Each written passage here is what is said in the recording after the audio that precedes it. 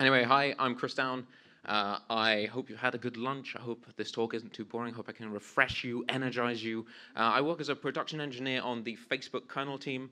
Uh, I used to live actually just up the road in Putrajaya in Malaysia, so it's really nice to be back and enjoy the weather. I come from England, so uh, it's depressing there, so that this is a lot better, to be honest, even with the clouds. Um, my, my main job is uh, on memory management in the Linux kernel. Uh, and that includes things like memory C groups, swap, that kind of thing. Um, I'm also a maintainer of the systemd project, which uh, a little project some of you may have heard of there. Uh, and uh, I mostly work on things like resource control. Oh, that's better. Thank you. Now I can move around freely. Excellent. Um, I'm not just somebody who bangs out code, though. Um, I've worked for several years as part of the Web Foundation team. A few of our members are, are here still. Um, so Web Foundation is basically the team that is responsible ultimately for Facebook's overall health. So I try to approach my work kind of from this angle, not just producing new functionality with the hope that it will be useful, but trying to think about how you know, we can make Linux more reliable and usable at scale proactively. So that's uh, kind of what I want to talk about today. Uh, I want to help give you some of the tools and information, like how to download more RAM, uh, you, will need to manage memory at scale. Uh, to do that, it's fairly important to go briefly over the fundamentals to make sure that we're all on the same page, so I'll do that in a second. But later I really want to go into the meat of the bleeding edge work that we are doing in the kernel in this area. Memory management is also a really, really misunderstood area. Um, there are many misconceptions, even among senior SREs, uh, about what things we provide in the kernel, the primitives provided, and what they are good and what they are not good for. Um, memory and management in general is kind of a really, really inexact science where everything is a trade-off. So I want to give you a better feeling about what are the trade-offs which are applicable to your situation and what decisions might be applicable to your workloads. Hopefully you'll come out of this talk with some ideas that you might want to try to make your memory management more, official, more efficient or more reliable in your specific case. First, uh, before we go to that, let's cast our minds back even further. Uh, we've got a talk within a talk. This is, a, this is amazing. Uh, let's cast our minds back to 2017. So I went to a number of conferences to talk about this magical new thing called cgroup v2. cgroup v2 is our big bet uh, industry-wide for resource control and management. And what we mean by that is that they are a kernel mechanism uh, that we are building to balance and limit and distribute things like memory, CPU, I.O., things which you share across a machine we have pretty good problems at Facebook. Like uh, our, our, user base is increasing, our product range is diversifying, but with that growth comes scaling concerns that we have never really had to deal with before. Things are getting tighter and tighter as we go along, and especially in the next few years, we're really going to feel this crunch for capacity. And we simply cannot solve these problems by throwing more servers at the problem. Um, we have hundreds of thousands of machines. We cannot afford to waste capacity across those machines because even a little bit of loss results in a huge absolute number. So we need to use resources more efficiently, and C groups are one of the things which allow us to do that. So you might be thinking here, like, hey, my, my favorite product or container engine already has this, this functionality, so why, why is this guy coming to talk about C groups? Well, that might be true, um, but if it was updated in the last 11 years, it almost certainly uses C groups under the hood.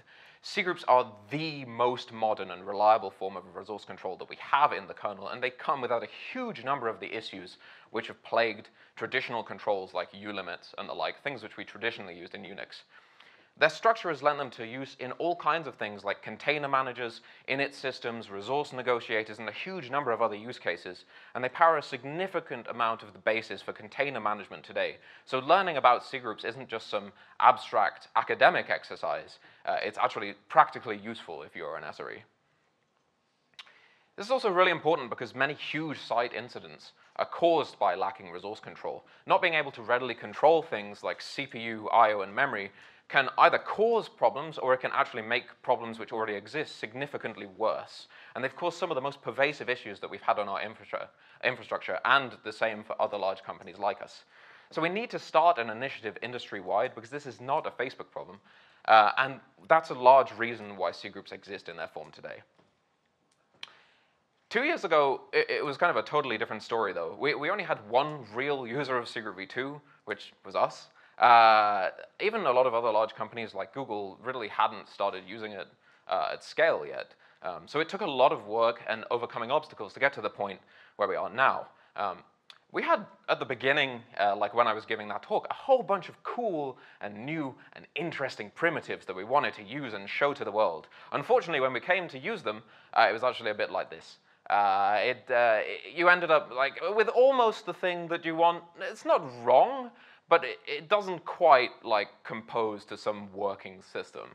Um, so we need to work out in which cases we should make uh, the operating system a bit more square and which, in which situations we should make our primitives a little bit more round to achieve the goal that we actually want to achieve. And knowing which one of these makes sense in each situation requires a huge amount of time to gain experience in production doing testing and experimentation. So that's one thing we've been doing a lot of. But why is it taken, aside from that, why has it taken like years and years to reach this point? Surely controlling resources cannot be that complicated. I mean, we've had things like ulimits in the kernel and all kinds of things like this for ages, right? So why, why are we talking about something new and modern? But the truth is, like, while we have had those things for like tens and tens of years, actually trying to compose a usable system out of them and getting the results you want out of them is another matter entirely. We usually set a limit, we set like a memory limit on RSS or whatever, and we just say, I have limited the memory. And there's absolutely no validation that it actually achieves the result that you want. And that is the problem which we are experiencing today. And I'll go into why those things don't compose to a usable system in a few slides' time. We also need support from the operating system itself to make resource control work.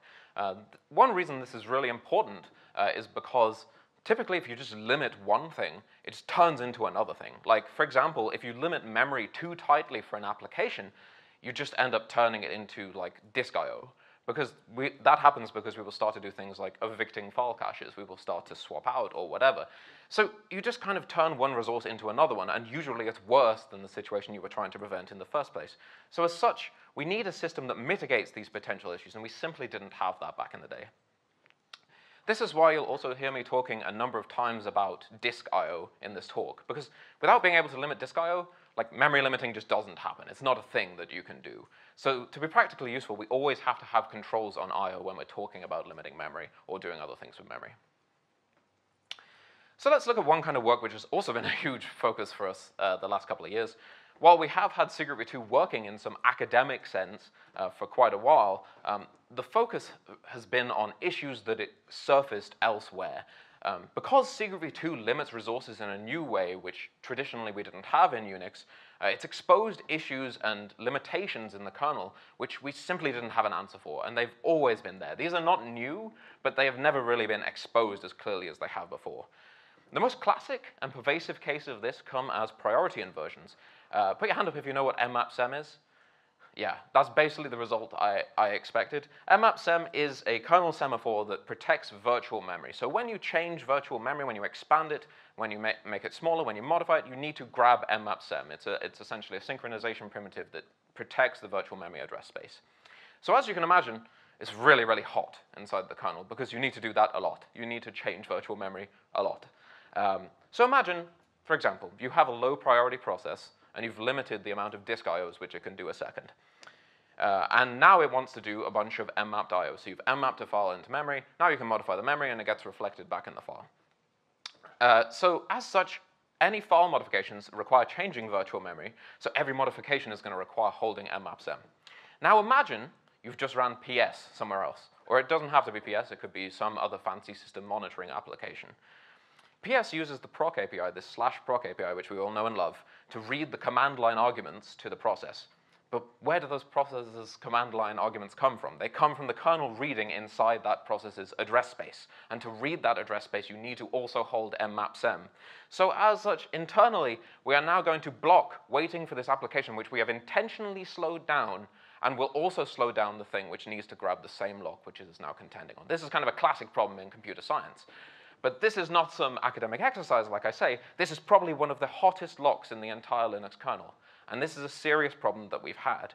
This shows how limiting one resource, I.O., can cause problems in another resource, memory, if the operating system isn't composed well. Uh, so you need to think about problems like this when you are trying to limit anything in an operating system. In general, mmap_sem just underpins so many operations in the kernel, and it's taken a really, really, really long time to try and prune uh, both the good uses and the abuses of mmap_sem in the kernel to the point where we don't have these priority inversions. Here's another example of a priority inversion. So put your hand up if you use ext4. Yeah, it's basically everybody, right? Like, the vast majority of people out there in the real world use ext4 as their root file system um, because it's generally well tested and stable, which is completely true. Um, and this was certainly mostly true as well at Facebook in 2017, back when we started in earnest rolling out cgroup v2 fleet-wide.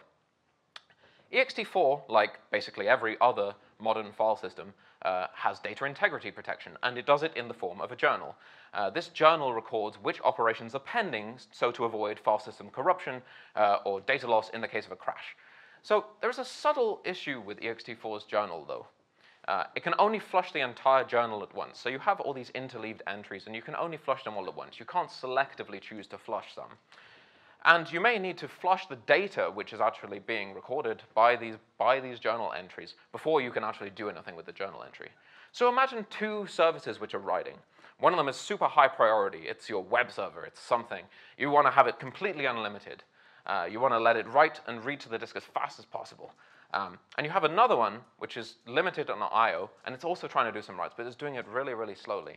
Because these are going to ha now have interleaved entries within the journal, um, we're going to end up completely stalling the entire system until we've done the I.O. limited operation. So essentially, the whole system becomes I.O. limited. Um, so because we are depending in the high priority or unprioritized applications on a low priority application completing just to get what we want. It's these kind of problems that make things really, really, really slow on the system um, when you are trying to do limiting. In this case, there is a workaround, which is essentially flippantly, don't use ext4. Uh, in, I mean, there is there are workarounds for ext4, but they basically reduce your data, your risk of, they increase your risk of data loss or data corruption. Um, you can use a file system which has selective flushing, like XFS, another very well-tested one. There are always trade-offs here. Um, we have also been working really hard on B-treefs.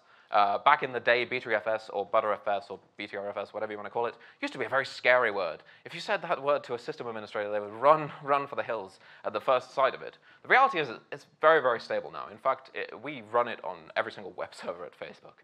We don't, simply don't have those kind of problems anymore. I'm not saying it's perfect, but I don't think it's at the stage where you should be running to the hills when somebody mentions it. Many more issues were found and fixed in all kinds of things that resemble these last two, but these, these two aren't exactly the point. Um, the point is you really have to think about how you're going to handle these priority inversions in the kernel when you're going to use limits, and we had to fix a whole bunch of them to make cgroupv2 work effectively. One thing that's also really critical to understanding how Linux manages memory is that it has different types of memory. Um, from the CPU's perspective, it, it, really has a super naive view of what memory means. It has some ideas, um, like you can read or execute or write a page, but it, it, doesn't really know exactly what is in the memory or like what it means. Um, for example, anonymous memory is, as the name would imply, not backed by any backing store. So memory which is explicitly allocated during the application lifetime is usually anonymous because you don't really back it by anything usually. Um, most people also know about cache and buffers. Uh, two sides of the same coin, caches typically cache the file content, whereas buffers like traditionally cache the block data from disk. Um, for a long time now, they have been uh, completely the same thing inside the kernel, part of the unified page cache, so I will just refer to them all as the page cache probably from now on. Um, but if you ask most Linux admins, uh, they will say that, oh yeah, you know, like that memory is essentially free, like you can just like get rid of the, them if there's some memory pressure. But here's a problem they are right in saying that those pages are reclaimable, but they misunderstand what reclaimable means. Reclaimable doesn't mean you're guaranteed to reclaim it. It means you might be able to reclaim it if, if you ask nicely. Uh, and that's the problem. For example, if some application is absolutely hammering on some file, we are very unlikely to evict the cache for that file we will just destroy the entire system or application performance. There's no reason we should do that. In that case, it may be significantly more critical than the pages we are holding for code or anonymous memory. Uh, so in that case, it really, really matters, and we're not going to evict it. This can cause some confusion, and I'm sure anyone who works at Facebook has seen internally, like people asking questions like, why does my application oom when I have so many caches and buffers available? Why doesn't Linux just evict the caches and buffers? And the answer is because Linux has decided that it simply could not do that without completely destroying your application performance. And it's usually right. The fact that caches can be essential is also an example of why RSS, the resident set size, a thing that we love to measure, is really kind of bullshit. Um, the reason we measure RSS is not because it's a good measurement, it's because it's really easy to measure. That's a really shitty reason to measure stuff. Uh, it's like the equivalent of like dropping your keys in the park and then walking out to the street and going to the street light and looking for your keys there because it's easier to look for them. It, it doesn't make any sense. Like we, we've, we've, we've kind of distilled wrong metrics to a fine art with this thing because I mean we use it all over in our industry and we have it on graphs everywhere. It, it really doesn't mean shit. And this is the problem. So when somebody asks you how much memory your application uses, the only sensible answer, unless you've really compressed your application and monitored the performance metrics and pushed it to the absolute limit, is that you have no clue. You have absolutely no idea how much memory your application uses. And this goes for a huge number of applications I'm sure you run in production, and it's, it's a scary thought. This is one reason why, in modern resource control, typically we try and limit every single type of memory together. We don't try and call out some particular type of memory. Because otherwise, you could just trivially still allow one application to impact the performance of the rest of the system or break isolation by using a different type of memory than what it used before. This brings us somewhat neatly onto SWAP, a controversial topic. Uh, SWAP is a, generally like a super widely misunderstood concept.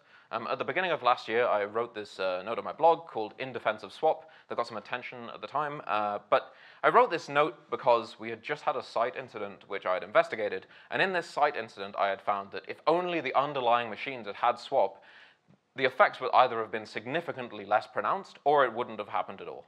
If you haven't read it and perceive SWAP is not useful, I do recommend reading it. Um, but let's go over a little bit of why, why swap is useful. So a lot of people think that swap is mostly irrelevant nowadays with tens and tens of gigabytes of memory. And this is all based on some misconception that swap is somehow directly related to RAM. And that's just simply not, simply not true.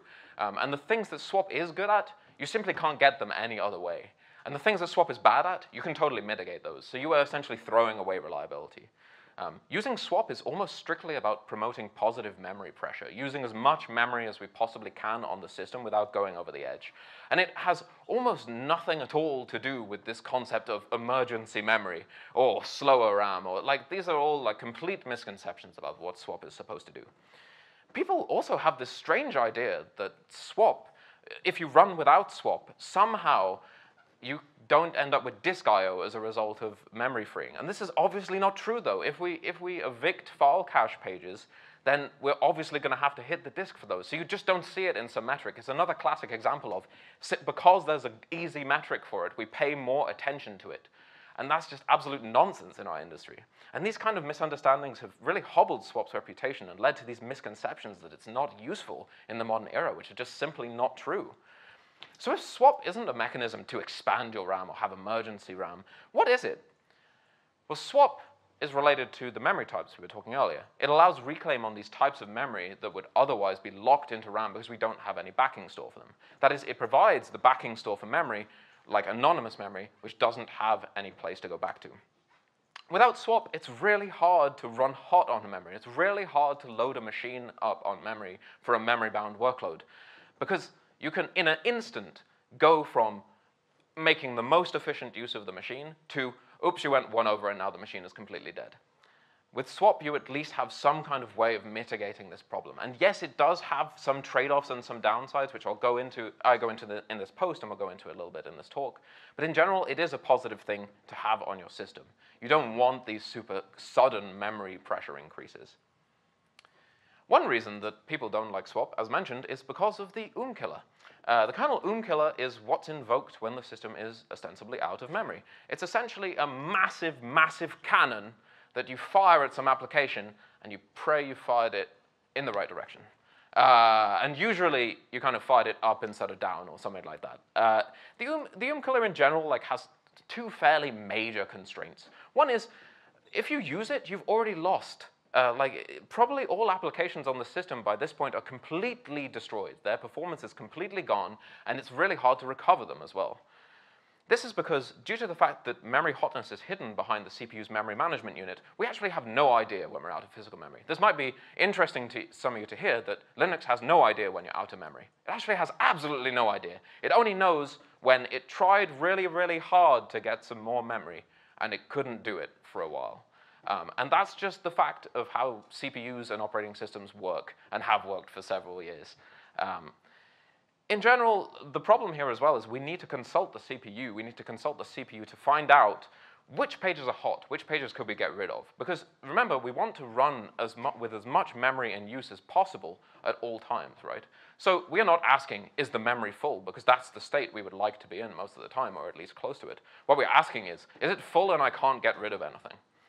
And we need to consult the CPU for that. And we can only do that actively. We have to poll for that. So we cannot find out in advance whether we actually are out of memory or not. As you imagine, we also only want to invoke the oom killer when we are actually completely out of memory. Uh, for this exact reason, the time it gets invoked can be really, really long after you're completely out of memory and all applications have completely stopped working. We have to go through enough reclaim attempts, we have to try enough things, we keep on changing the types of memory we're allowed to reclaim and what kinds of memory, and eventually we just say, well, I can't do it, and give up. And that could be minutes after you have actually run out of memory. So our goal here should be, in general, to avoid having to invoke the oom killer at all during memory starvation by proactively killing applications to free memory ahead of time. And I'll come back to how we actually attempt to achieve that in a moment. Another problem with the oom killer is it's not really configurable. We have these magical things called oom scores. I love anything in the kernel which says score because it means you write a number and you have no idea what it means.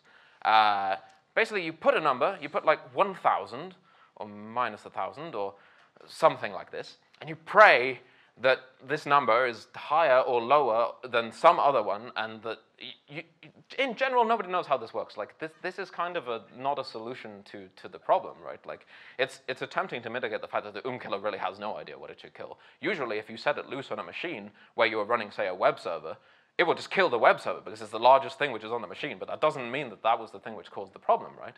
So uh, generally, like, we need something more fine-grained to actually deal with this problem. So I mentioned that, uh, that this works based on reclaim. How, how does reclaim work? So reclaim is this fancy term for just trying to free pages in the kernel. There are multiple different ways that reclaim can happen. Uh, two common ways are this scary sounding kswapd reclaim uh, and this direct reclaim. kswapd reclaim is done by a background kernel thread uh, which tries to proactively free some memory when we go over some threshold. Say you say like uh, I, after we get to like 97% used memory, I'm going to try and proactively prune the memory down again and keep us at 97%. This happens passively in the kernel itself. It's not part of the application lifecycle. It happens in a background kernel thread. Uh, kswapd reclaim avoids going into this next and scary phase, which is direct reclaim, which is what happens if we requ re request memory and then eventually realize there's no memory, sorry. Uh, and the problem there is like this actually results in suspending the application which is requesting memory. Imagine if that's your web server. Now your web server is just like completely stalled. And imagine if it was in a lock when it tried to do that. Now you could completely stall all kinds of things on the system. So this is why we have this other proactive kswapd reclaim, which is trying to just keep it a little bit below the absolute maximum amount of memory on the system, so we always are able to satisfy a little bit of the request. And usually this works. Another thing is that reclaiming some things may be easier or harder than others. For example, some page types may be completely unreclaimable, like kernel structures that are visible to user space. Imagine if you went to slash proc and uh, you went into some directory which is supposed to be there, and eventually, like, you encounter some memory pressure on your system and the directory disappears. And you go, why did this directory disappear? Uh, you can't just remove things from user space's view if they're supposed to be there, right? We need to present a coherent view to user space. So those things cannot be reclaimed. And also you can't reclaim anonymous memory if there's no swap for the same reason. Some page types may also be reclaimable, but just not right now. The question you need to ask whenever somebody tells you that something is reclaimable is when is it reclaimable? Because it's not a binary option. Um, for example, uh, some cache pages, as mentioned, may be so hot that we simply cannot free them. There's no sense to free them. Uh, and the applications just accessing them would just lag horribly if we were to, to take them away. And the same goes for anonymous pages, which, as mentioned, have no backing if there's no swap free. Some page types also may actually be reclaimable now, and we know they are reclaimable now, but we can't just reclaim them. We have to go do something to reclaim them. For example, if you have dirty pages, you have to flush the, the contents back to the disk before you could reclaim them, and that could take a while. Um, otherwise, we would lose the modifications to the data and either cause data corruption or data loss. So it's not as easy as it seems sometimes to reclaim these trivially reclaimable pages. So when somebody tells you, oh yeah, but it's reclaimable, it's, it's kind of just nonsense. Like, you have to ask a lot more questions to work out what that means. In practice, this variance and unpredictability in Reclaim means it's typically really hard to tell ahead of time that we are running out of physical memory. But what if we wanted to know that? Um, how would we go about knowing that we are about to run out of physical memory? If, if I asked you, uh, looking at Google people, if I, if I asked you, uh, your machine is about to run out of memory, what metric do you look at to work out whether it's about to run out of memory? What, what, what would be your answer? You don't have to be from Google to answer. Memory in use? memory in use. Okay, memory in use. But here's the problem, like, the memory might be in use, right? But you don't know whether you could take it away. Maybe you could take it away. and Maybe it would actually be totally fine to take it away. Maybe nobody is accessing that memory anymore. You could take it away. Uh, and, you know, maybe we go on just fine after that. So the kernel will eventually try and do that. So we, we're not sure whether we are just making the most use of memory or whether we are, you know, whether we are about to run out. It could be either with that metric. What other metrics? I heard so many things. We're going from the left. Scan rate. Okay, my boy. Uh, okay, scan rate. He's fallen for the trap. Uh, so the thing about scan rate is like, if we're if we're using uh, so for people who don't know what scan rate is, so scan rate is like how how quickly we're turning over pages essentially, and kind of how how often we are going through the list and saying like, can I reclaim this page? Yes or no. Can I reclaim this page? Yes or no. And it can indicate uh, memory pressure. In fact, it would indicate all cases of memory pressure. The problem is it also indicates things which are not memory pressure, right? It, uh, it can also indicate really, really efficient use of the system. It's entirely possible that you are like making the absolute maximum use of the system, and this thing is creeping up. And in fact, most applications do have some scan rate anyway, because we're trying to run the system as, as, as memory bound as possible. So How about average residence time, if you can take, calculate that for estimate that from scope? So this is this is another choice is average resident time. Uh, there is there is a problem with that, which is like that's not super easy to track and doesn't really like we don't really have like super good metrics around this in the kernel. Um, so that that is one avenue we could go down. Um, but the choi- the way we've tried to handle this um, is uh, to build something based on memory pressure. In fact, our original design was based on time to refault, which is exactly what you're describing. Um, but one thing we found was that not all of this pressure has to come as a refault, right? So what we've tried to do is build this metric which can measure memory pressure. So what is memory pressure? Well, we've never really had a metric like this in the kernel before. We have many, many related metrics, like what was mentioned, like page scans and so on and so forth, and memory free. Um, and we can and we can look at those, but we don't really know whether they indicate this system is about to fall over or not. Um, you can only really say in retrospect, okay, this thing looks like it made the system fall over. So PSI, which is our, our pressure metric detector, um, uses metrics specific to a resource to try and work out, is this resource oversubscribed? For example, in memory, we use the amount of time that threads in a particular C group on the system were stuck doing memory work. So some here means that some threads on, in that particular C group were stuck doing memory work for, in the last 10 seconds, 0.21% of the time, which is actually not a bad metric. That's actually fair, fairly reasonable. Full means that all threads in that C group were stuck on memory work. Um, so this could be things like waiting for a kernel memory lock, being throttled, uh, waiting for reclaim to finish. Uh, even more than that, it can be things like memory-related I/O, which can really dominate, like uh, refaulting file content uh, or uh, like swapping pages in. These things can be really, really slow, right? So pressure is essentially saying, if I had more of this resource, I could probably run 0.21% faster. It's the amount of time in which we are actually having to wait uh, for that resource to become free. This can also be really useful to you in developing high reliability and high availability applications. For example, you can use this to know somewhat in advance whether we are about to go over our memory thresholds, whether we are about to push the machine over the edge, and do load shedding uh, and backing off new requests. And you can't just do this by measuring free memory or resident memory, because again, you don't really know what's reclaimable until you actually try to do it. These PSI metrics are also what powers our pre-OOM detection at Facebook. We do this as part of a project which we've open sourced called OOMD. Uh, OOMD is a user space OOM killer with this very fine-grained policy engine, and this allows you to encode uh, policies of what to do in certain situations when you're running out of memory. For example, we run Chef on our machines because we want to we want to have an up-to-date machine. We want to have configuration management, as I'm sure most of you do. However, while Chef is important, if the entire machine is about to fall over, I'm okay if you kill Chef. I'm okay if that doesn't run for like five minutes while we're having a terrible time. The same goes for other background work which isn't like mission critical or isn't stopping something else from running.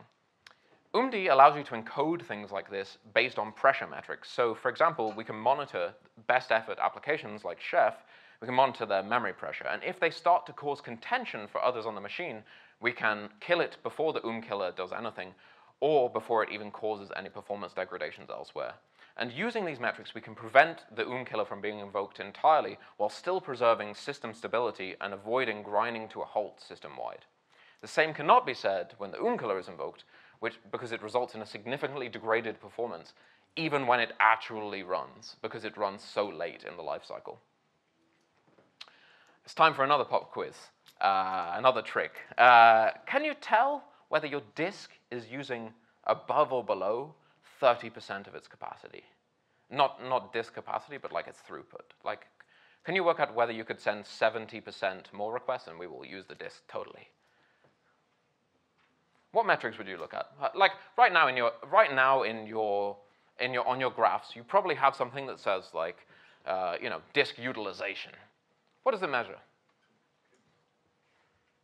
Somebody says something very quietly. Yeah, I mean, a mixture of how many IOPS can it take, how much bandwidth can it take, and queuing. Mhm. So IOPS. But it's gonna be. Yeah, yeah, yeah. like, The the block size is sequential, it's random. Yes. So uh, IOPS, bandwidth, and queue size were the things mentioned.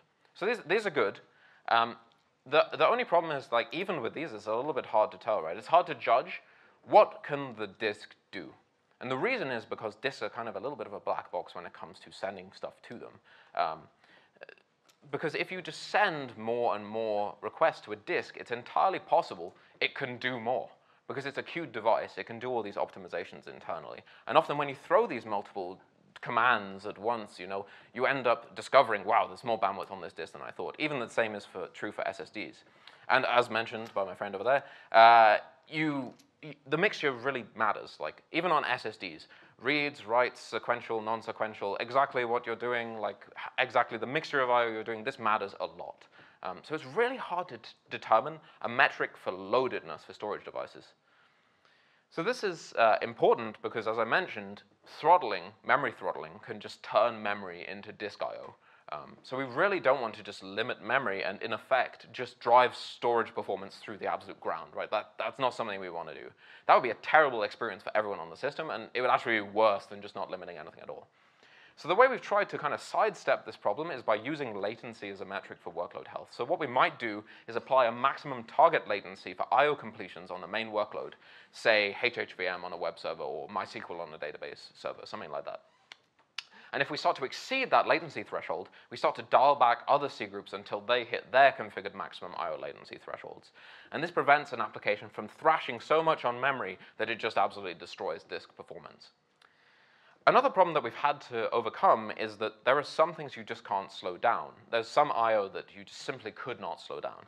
Um, and this is usually I/O like things like file system metadata uh, and swap I/O. This is because these cases are kind of synchronous. Like you, you end up kind of everything depending on each other when you make these requests. So if you slow down one request going to this thing, you end up slowing everything down for the same reason that we were mentioning with the journaling case in ext4.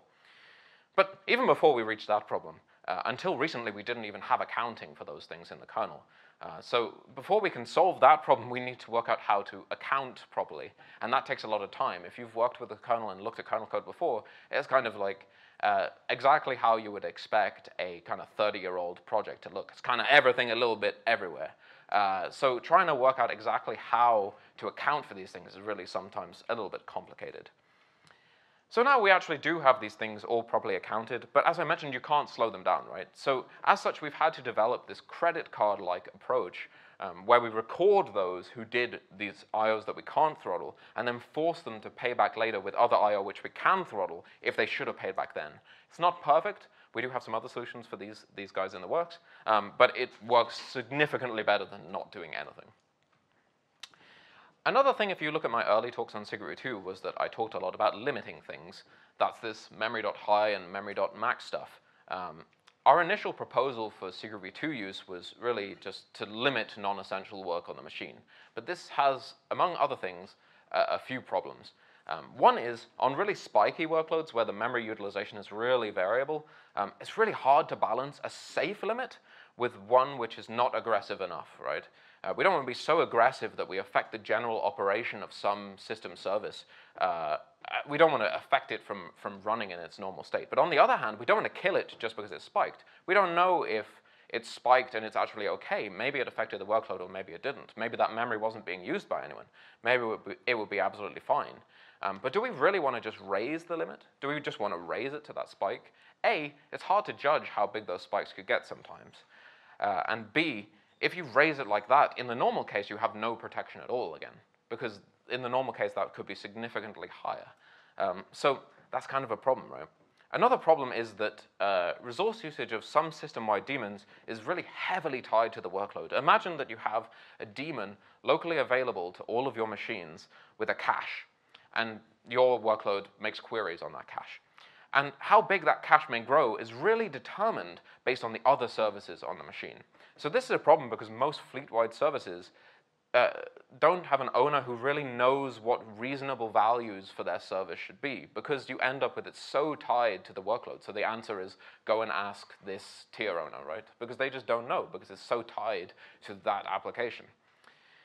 So it's much more easily configurable to really make guarantees to the tier owner about, hey, you want to run a web server, you know how much memory you need to run a web server. We're going to guarantee that amount to you instead of trying to punitively act to stop other things from affecting the web server. It's kind of, you know, trying to work out every single thing that could affect the web server and limit it is a little bit of a losing game. It's significantly easier to just protect the web server in some way, and we do that by biasing reclaim away from, from the web server.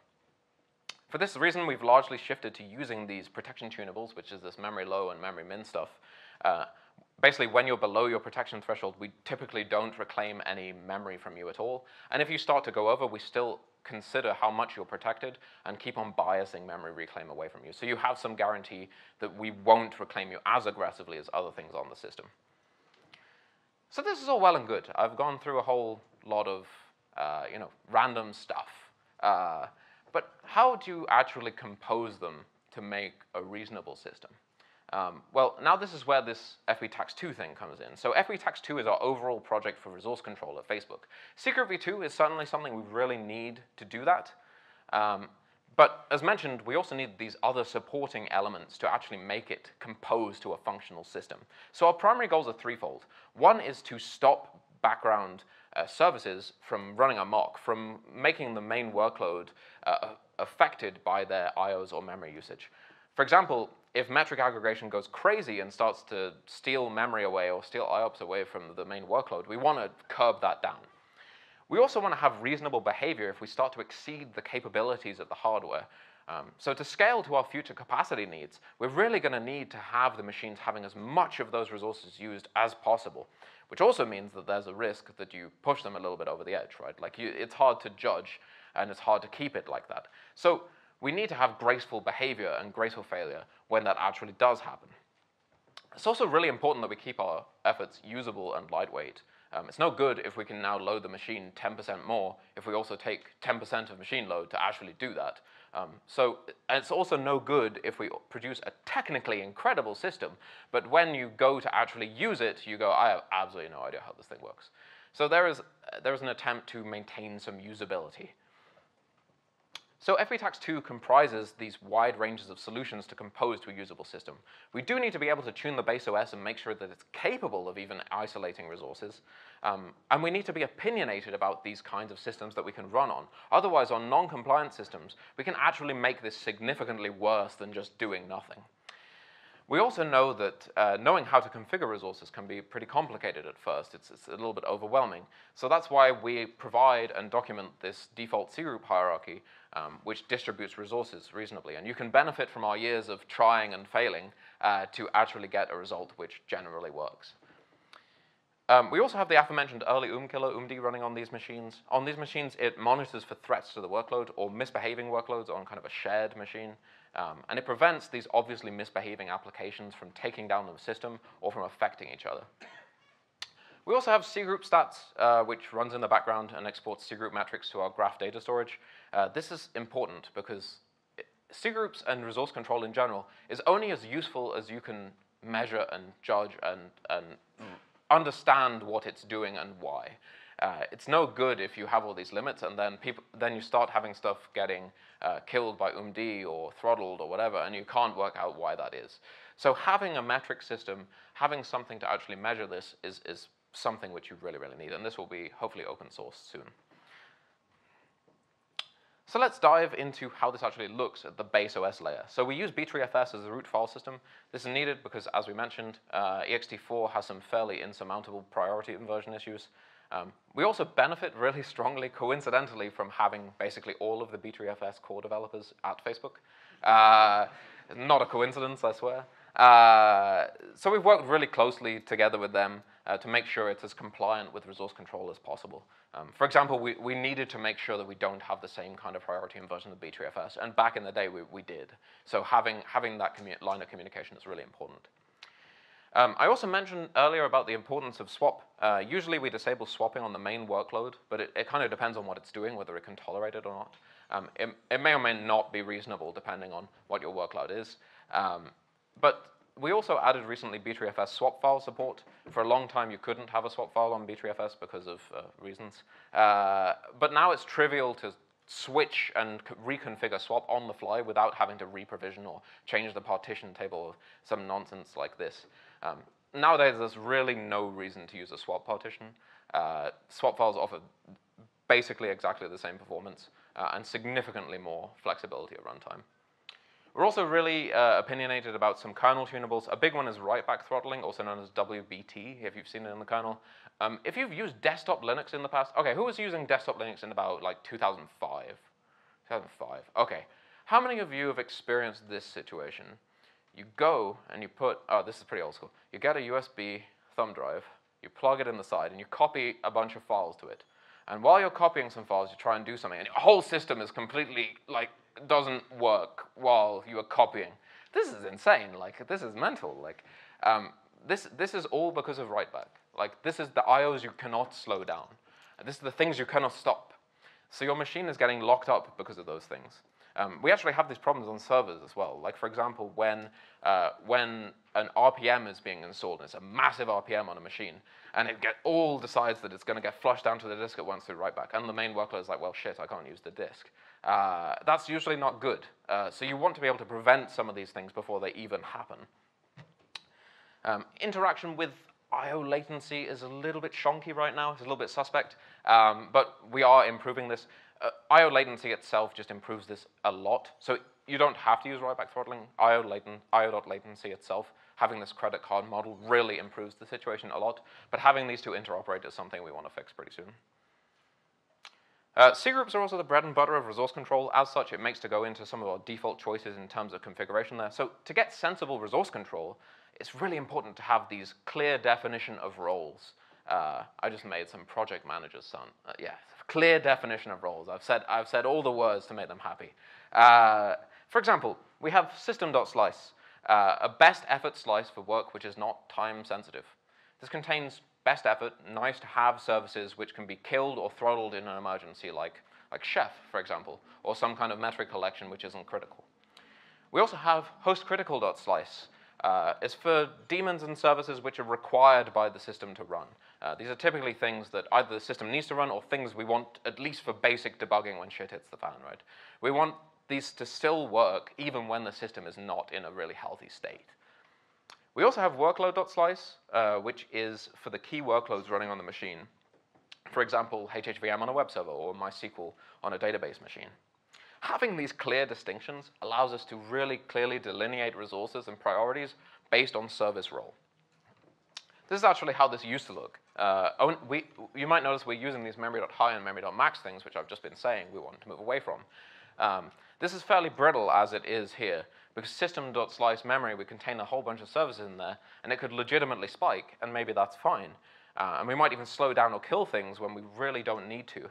Um, it's also really absolute. Like we don't we don't allow for any ballpark configuration, right? You don't you can't say I think my my service uses about four gigabytes. It's what you're saying is, my service uses four gigabytes or I die, uh, which is not really how you want to run a system. So it's not really great for these applications with variable resource usage. So that's why we've changed to something more like this, uh, something using, me uh, using memory.low and memory.min for protection. Uh, as mentioned, these are kind of a guarantee that we will reserve some amount of memory for a process. We don't prohibit other applications from using that memory. They're not prohibited at all from using that memory. But if the workload were then to request it, we will more aggressively reclaim it back towards the workload, uh, away from those deprioritized cgroups.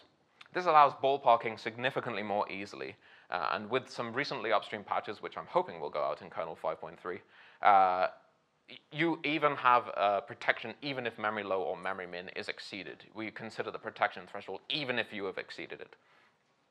You'll also notice this addition of I.O. latency. Again, I.O. control is really, really important uh, because otherwise we're just going to end up with a situation where you just thrash the disk instead of using memory, which is essentially the worst memory that money can buy. Uh, so the idea here is to produce a system where we have latency guarantees, some amount of throttling, uh, protection against the UM killer, and in general, we want to prevent problems before they start to affect the system at large. I mentioned I also wanted to talk about production success stories. In this case, uh, this is a little bit of a scary slide, but I will go over what it means. In this case, we intentionally cause a fast memory leak in system.slice on Facebook web servers. Um, don't worry about all the different lines and colors yet, but the purple line here, I don't know if you can even see these colors, but the, the line which looks bad, the line which goes down in the middle, is without FBTax2.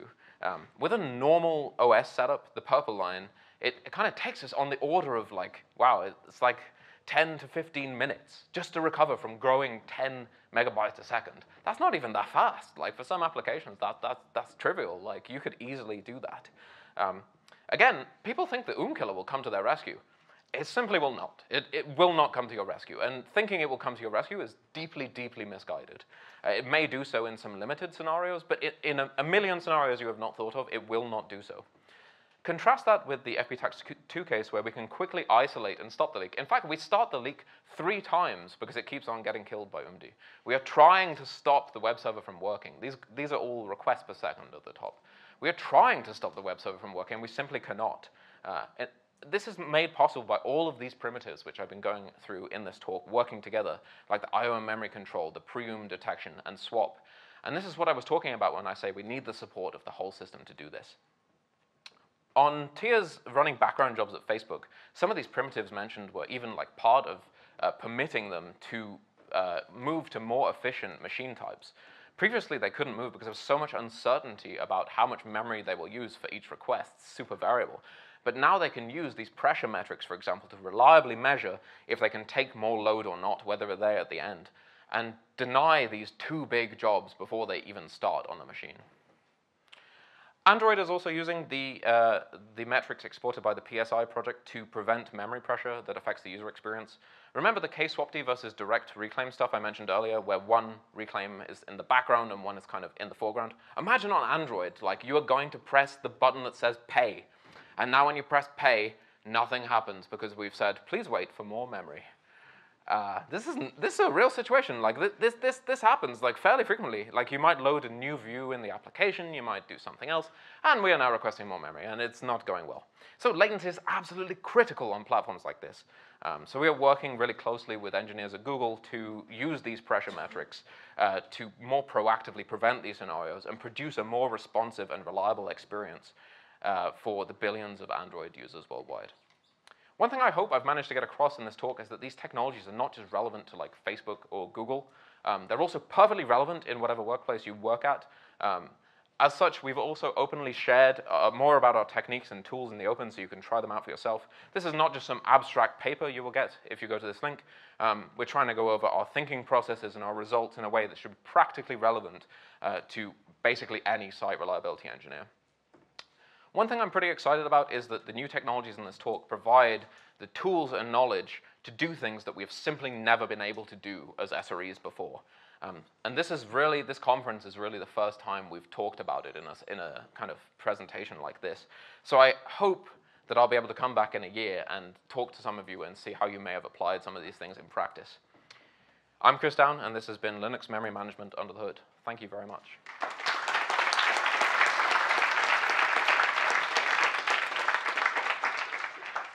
I have two minutes for questions.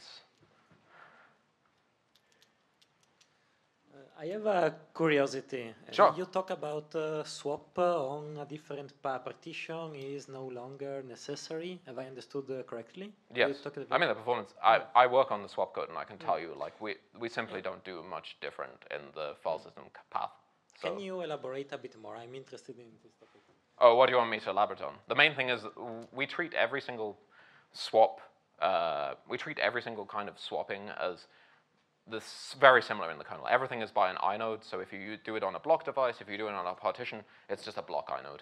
If, it's, if you do it inside a particular file system, it's an inode from that file system. And we just write directly through. Uh, so, I mean, the, the performance characteristics are not really that much of a concern. I don't know whether that answers your question or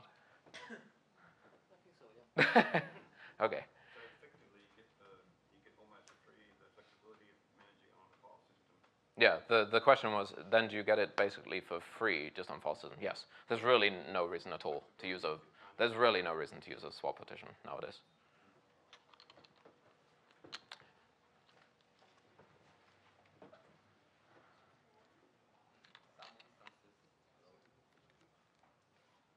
I can repeat the question if the mic doesn't work. So in some instances we encounter that like when you try to reclaim memory, uh, the inode reclaim happens first, especially in direct reclaim, and then the system tries to get the file system cache, which kind of sounds non-intuitive. Do you know the reasons behind Not sure I quite under, understood. What what you're talking about the which reclaim? if you go to the point of direct reclaim, like, right? So some for some reason, and you still have a lot of file system cache, which should be probably easier and faster to reclaim.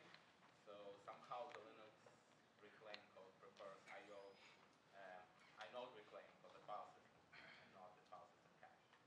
Uh, I would have to look, but uh, I I don't know off the top of my head. But uh, I would have to look with you. We can do that afterwards. All right. Oh, I think I'm about to be kicked off the stage. Sorry, how about uh, we take questions out into the foyer? But thanks very much, Chris. That was a very informative talk. Thank you very much. Uh, really appreciated it. Thank you.